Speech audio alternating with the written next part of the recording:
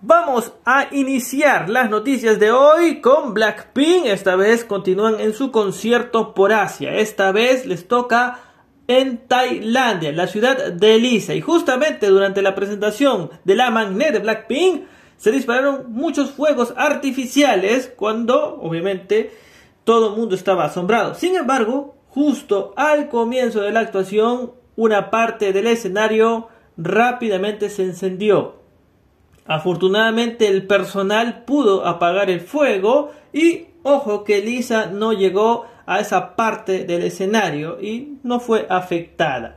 En la actuación de apertura con la canción How You Like That, los fuegos artificiales se dispararon accidentalmente a Jenny en el ojo.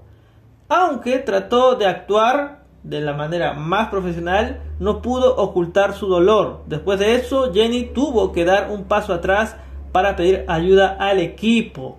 Ojo que algunos fanáticos también estuvieron muy preocupados de que Jenny se habría quemado incluso el brazo.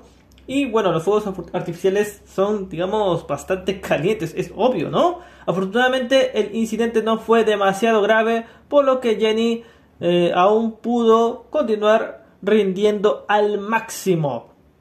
También mencionar que Blackpink Lisa durante el concierto llamó la atención de los fanáticos. Esto fue el 7 de enero. La noche estuvo llena de actuaciones explosivas junto con la aparición de varios grandes nombres y momentos virales. La linda expresión de Lisa durante la prueba de sonido en particular se había vuelto bastante viral. En particular, en un video de Lisa, luciendo bastante sorprendida ante el grito de emoción y saludar a la audiencia mientras miraba hacia abajo, obtuvo muchas visitas. Al ver el video, se suponía que era Jenny Hong. Así es, una participante china de Juventud Contigo y vendría a ser su alumna, ¿no?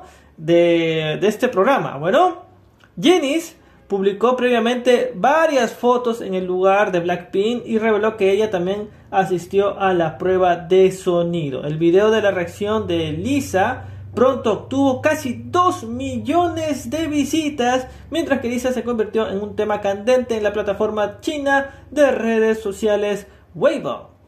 Bueno, también hay que mencionar a Chisu de Blackpink, es definitivamente una idol súper hermosa, una gran presencia, ni siquiera necesita maquillaje para demostrar que es una hada. Pero también Chisu llamó la atención por su increíble presencia en el escenario, pero también sus imágenes eran irreales. Chisu mostró por qué es una de las celebridades más vistas y con un estándar increíble en Corea del Sur. Aunque es normal que Chisu llame la atención por sus imágenes legendarias durante los espectáculos. Esta vez la idol fue elogiada por su belleza natural impecable durante la prueba de sonido del concierto. Ojo que no está usando mucho maquillaje, aún así es bastante bella.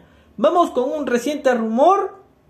Así es, gente, las redes sociales están explotando porque ya se menciona a Blackpink en Coachella. Recordemos que Coachella se celebra cada abril, o al menos un mes cercano a abril.